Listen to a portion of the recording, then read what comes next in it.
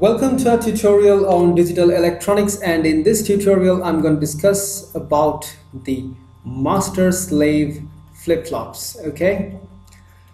So before the advent of the you know uh, the edge triggered flip-flops the master slave flip-flop was widely used in order to protect the output from sudden changes in the input all right so this problem has plagued the flip-flop community for a very long time. And uh, probably the master-slave configuration, uh, I mean behind the development of the master-slave configuration, uh, the basic idea was that you can keep the outputs stable by introducing a known time delay denoted by TD equal to that of one clock pulse okay? So if you would enter or anyone constructing a flip-flop circuit would you know uh, incorporate a delay time of about one clock pulse then in that case the flip-flop configuration would be stable to certain changes in the input okay that require time to stabilize. So if these are the two SR flip-flop diagrams that I'm showing you over here okay so this is the Q and the Q bar. All right and here's the clock okay? And uh, on the other hand over here we have the q1 and the q1 bar okay? So this is the s1 and s sorry r1 inputs. And from the clock of this flip-flop we connect a NOT gate and take it to the clock over here for the next flip-flop. So this is clock 2 and clock 1 in this case. So this is flip-flop 1 and this is flip-flop 2 so basically what we see here is we can just see two SR flip-flops being connected this way. So you'll probably might be wondering what am I doing? Or rather what is the meaning of all this? Okay. So this thing that y'all are seeing right here okay? The way that I've connected these two SR flip-flops right over here gives us the master slave configuration okay? So this as you can see here is the master slave configuration of the flip-flops okay? So therefore all master slave flip-flops have been you know obtained from the master slave SR flip-flop or rather derived from the master slave SR flip-flop that was first formed in somewhat this way okay so how is this master slave flip-flop superior? Okay. All right, I'll come to it with the help of an example. Let's say I give you the truth table over here. Okay. There you go, Q1 and Q1 bar. Okay, so let's say at the presence of the clock input, we have S equal to 0 and R equal to 1. So let's say over here we have a 0 and a 1 at the presence of the clock input. So let's say this clock is on for about a period of one second.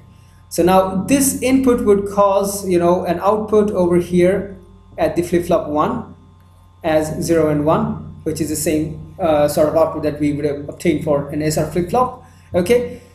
So now till the moment that there is the clock input, I mean the clock input at uh, the uh, flip-flop 1 is at the logic 1 level, the inputs are subjected to change which would affect the outputs as well.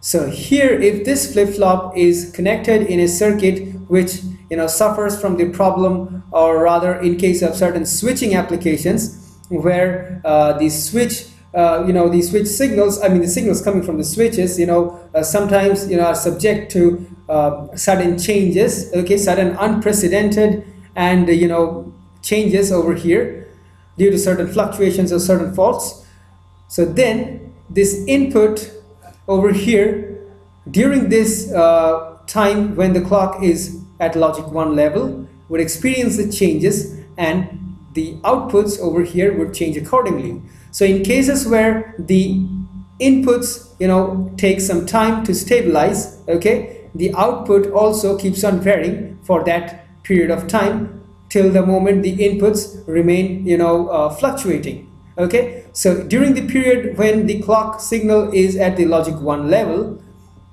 the output is subject to change under the change of the input signal. Okay? So in this configuration what happens is that this configuration was basically designed to avoid the state or rather avoid the condition of logic race. Okay? So when the input you know just is subject to you know rapid changes and the output is not i mean output is also changing accordingly that condition is termed as logic race condition okay? So during this condition what happens is that if we just take these outputs as the ultimate ones then it will just be changing within the clock period. So now as soon as the clock ends the clock 1 becomes inactive okay? I mean the flip-flop 1 output is not subject to change anymore with changes occurring at its input terminal. So now these outputs from flip-flop 1 travel into the input of the flip-flop 2 where they act as input signals okay? And now here by connecting a NOT gate whenever the clock at flip-flop 1 falls from the logic 1 to the logic 0 level it just goes to the NOT gate and appears at the clock 2 of flip-flop 2 as a logic 1 signal thereby activating its clock. Okay?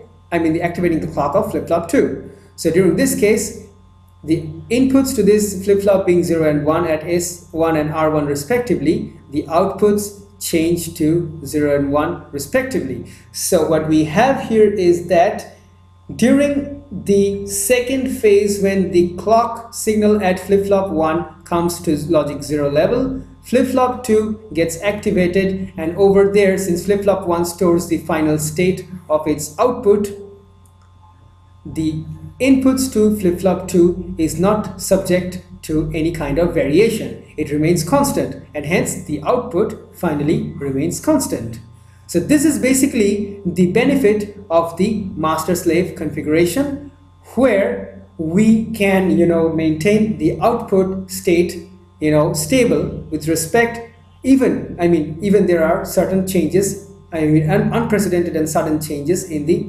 input terminals, okay?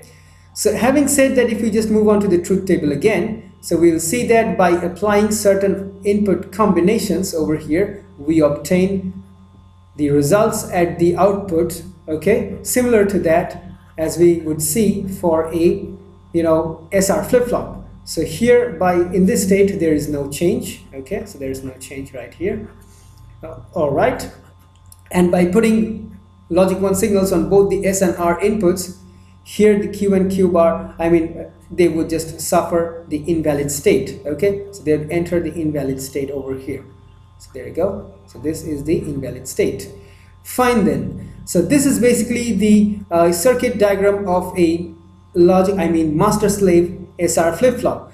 So where this flip-flop one part is the master okay and flip-flop 2 acts as the slave. The slave follows the master as the slave you know as you can see here outputs the same thing or rather takes an input the same thing as outputted by the master and you know outputs the same as what the master had when the clock signal just ended. Okay? So the basic benefit is that it the output remains stable and subject to no sudden changes in the input. Okay so if I would just you know try and show you the logic diagram of the SR flip-flop I mean SR master slave flip-flop then it would look somewhat like this as you can see here okay this is a q q bar. All right so this sign that's given over here this one represents the master slave flip-flops okay? And if we just you know modify the master slave sr flip-flop okay let me just write it down. So this is the master slave sr flip-flop okay so if I just you know modify this diagram into something like this okay so there's Q and Q bar. Okay it's a master slave configuration all right. S and R here's the clock. But if we just you know connect a NOT gate from the S input to the R input then it becomes a master slave D flip-flop. So this is basically the master slave D flip-flop. Okay whose logic diagram can be finally given as something like this. Okay there's qq bar. Okay and the, here is the d input terminal with the clock. All right so this is basically i mean this uh, modification over here is basically the same as you know connecting or rather i'd use a different color in this case just by connecting a NOT gate right over here from the S input to the R input over here as you can see. Okay? So there you go. So this is how we would obtain or rather I, I mean this thing I think is not visible much. So yeah that's the modification I was talking about. So having said that if we just you know quickly move on to the truth table of the D flip-flop it would look something like this. So here it is the D input the clock input and the Q and Q bar inputs okay? So when we have a 0 at D input under the presence of the clock signal Q is set to 0 Q bar is set to 1 and at you know logic 1 input at the D input terminal under the presence of the clock we have a logic 1 signal at Q and 0 at Q bar respectively. Okay so having said that I would just finally come on to the most popularly used master slave flip-flop. That's the master slave JK flip-flop. Okay so here we go. The master slave JK flip-flop. Okay so here would be the circuit diagram of the master slave JK flip-flop. I think you're probably you know curious to see this. Okay so there we go. So here are the feedback paths okay of this flip-flop. And there's two more NAND gates as you can see okay? So they just go into the input or rather connect to the output of two more NAND gates right over here. And they also go and connect to the inputs of two more NAND gates right over here okay? And here we have a clock input of the second flip-flop so this is flip-flop 2 okay? And here or rather I would not call it flip-flop 2 because that would be you know highly inaccurate okay? And here we would have another as you see feedback path to these terminals. And over here we would have the preset and the clear terminals or rather the clear inputs okay? And then finally from these two terminals we would have special input terminals okay I mean carrying the Q and Q bar stages okay? Coming into and falling into the first gate which receives the inputs. That is here we have the inputs J and K okay? And now over here this is the common terminal connecting these two gates okay? Where we apply the clock. All right so this is basically the circuit of a JK flip-flop in the master slave configuration. So this is basically the master slave JK flip-flop okay master slave configuration where you can see in this circuit that we have two more inputs. As you can see the preset and the clear. It's given because whenever a flip-flop is applied power to okay there is no guarantee as to what state it would you know result in at the outputs okay? It may stay at any state possible so in order to set the flip-flop to the logic 1 state or uh, yeah logic in order to set the output of the flip-flop to logic 1 state we use the preset input okay?